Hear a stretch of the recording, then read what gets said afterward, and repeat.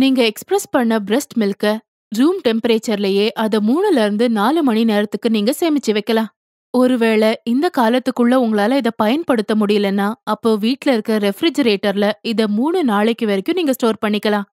இப்போ ரெஃப்ரிஜரேட்டர்ல இருக்கிற இந்த பால நீங்க பயன்படுத்த விரும்புனா, அப்போ இந்த பாட்டில ஃப்ரிட்ஜ்ல இருந்து வெளிய எடுத்து, சுடுதண்ணிய ஒரு பாத்திரத்துல எடுத்துக்கோங்க.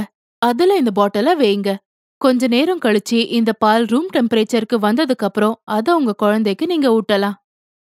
ஒருவேளை நீங்க இந்த பிரஸ்ட் மில்க மூணு நாளைக்கும் அதிகமா ஸ்டோர் பண்ண நினைச்சீங்கன்னா, அப்போ உங்க வீட்ல இருக்கிற ரெஃப்ரிஜரேட்டரோட ஃப்ரீசர்ல நீங்க இந்த பால ஸ்டோர் பண்ணி வைக்கலாம். இங்க பால நீங்க மூணு வாரத்துக்கு சேமிச்சு வைக்கலாம். இப்போ ஃப்ரீசர்ல வச்சிருக்கிற பாலு கட்டியா ஃப்ரீஸ் ஆயிடும். ஒருவேளை நீங்க அத பயன்படுத்த நினைச்சீங்கன்னா, அப்போ எட்டுல இருந்து 10 மணி நேரத்துக்கு முன்னாடியே அத ஃப்ரீசர்ல இருந்து எடுத்து நீங்க ஃப்ரிட்ஜ்ல வச்சிடணும். அப்புறம் அத ஃப்ரிட்ஜ்ல இருந்து எடுத்து ரூம் டெம்பரேச்சருக்கு கொண்டு வந்து அதுக்கப்புறம் உங்க குழந்தைக்கு கதை ஊட்டலாம்.